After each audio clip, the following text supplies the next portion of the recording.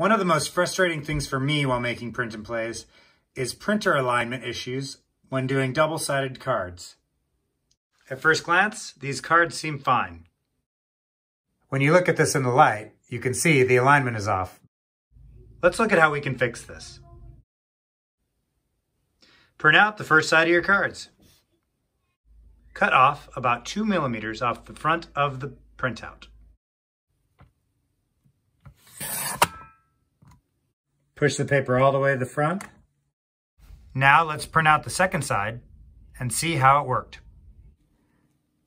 And now that's going to cut out real nice. And that's how I fix printer alignment issues.